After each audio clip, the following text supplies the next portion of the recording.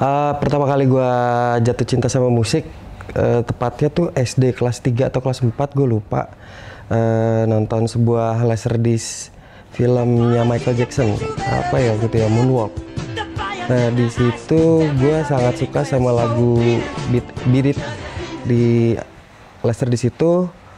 Nah dari situlah mulai gue, anjir gue suka banget sama musik ternyata.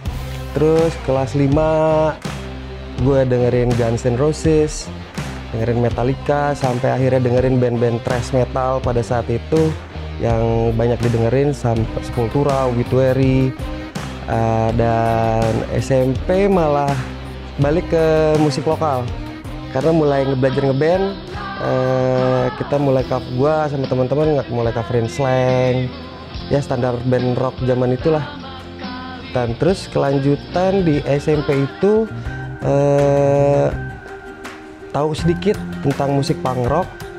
Um, mulai dari album Nevermind the Bollocks Sex Pistol terus Green, Green Day muncul, The Offspring muncul. Nah dari situ pas ke satu SMA ternyata punya ketemu beberapa teman yang satu selera, satu frekuensi nggak ketika ngobrolin musik. Akhirnya gue sama teman-teman SMA gue tuh bikin band. Yang band awalnya dari alternatif rock terus kayaknya kita ah kurang pas nih sama jati diri kita. Sebenarnya kita sukanya lebih punk rock. Akhirnya ngerubah haluan ke genre punk rock. Dan dari kelas 1 SMA itulah gue mulai aktif terjun di skena underground yang jadi banyak kenal sama jenis musik yang sub-sub genre rock tadi sampai berkenalan sama teman-teman yang aktif ngegerakin scene di Jakarta.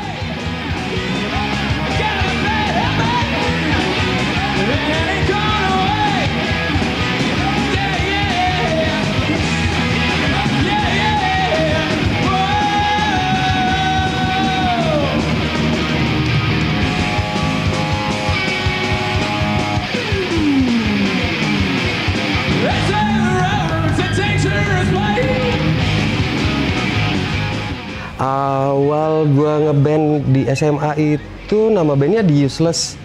Itu musiknya sedikit hardcore punk ada oi oi musiknya juga.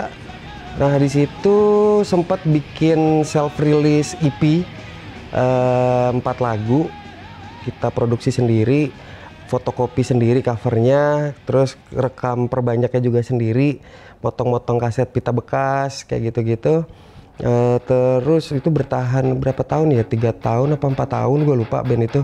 Akhirnya vakum berapa lama dan bubar karena kebutuhan hidup. Dan 2024 gue diajakin lagi ngeband nih sama beberapa orang yang cukup dihormati lah di skena. Waktu itu ada almarhum botak botak RGB terus sama Ambon Overcast Nah mereka lah yang ngajakin gue ngeband lagi. Uh, akhirnya terbentuklah bertiga awalnya terbentuklah Ten Halls itu. Awalnya musiknya street punk, oi, uh, yang sejenisnya kayak gitu-gitu. Terus sampai akhirnya kita dengerin Dropkick Murphys. Akhirnya kita coba ngerubah karena pada saat itu belum ada uh, band di Indonesia atau Jakarta yang bawain Celtic Punk. Akhirnya kita udah kiblat kita ke sini musik kita ini harus jadi sesuatu yang beda. Karena ya momentum juga sih di momen yang pas. Di saat itu skena juga kayak lagi statis aja. Terus lahir Ten Halls dengan genre yang baru uh, jadi punya cukup impact yang bagus juga ternyata dengan membawakan musik Celtic Punk itu. Dan berkelanjutan lah dengan berubah formasi. Sampai sekarang masih aktif Ten Halls walaupun tinggal gue sendiri yang asli dari pertama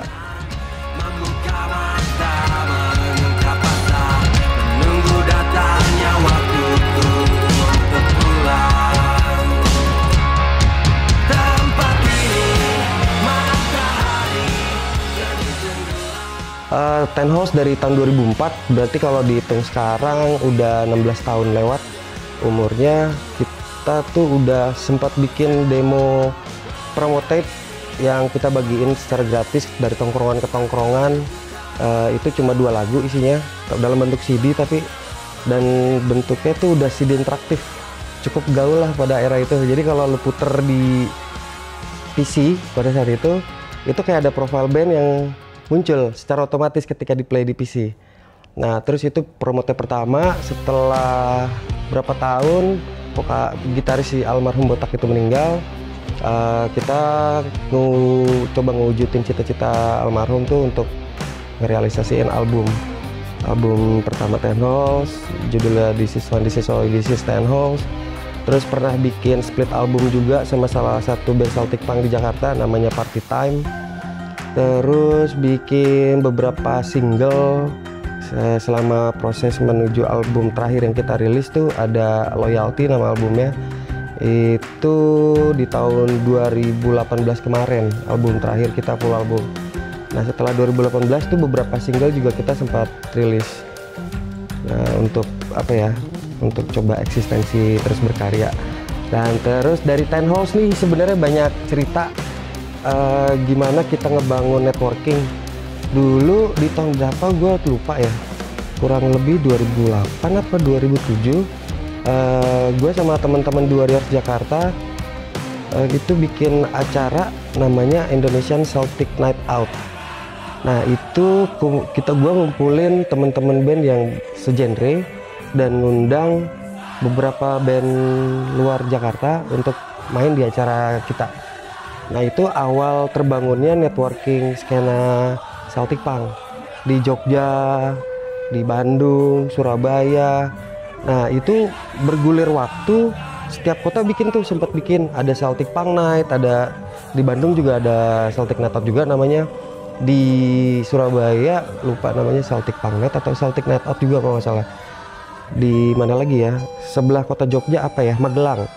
Nah itu skena yang sangat aktif menurut gue di sampai saat ini itu di Jogja sebenarnya. Di situ ada ikat eh ikat kepala sorry. Ada Grab Gurita ada Dirty Glass ada The Cloves and Tobacco ada masih banyak lagi dan karyanya ajaib-ajaib sih. Menurut gua kualitasnya udah kualitas band luar gitu. Dari sisi audio dan materi aransemen pengolahan lirik. Itu keren. Justru Jogja yang skenanya aktif dan produktif untuk merilis karya-karya dan bikin album kompilasi Celtic Punk di Jakarta cuma penggerak bikin gigsnya.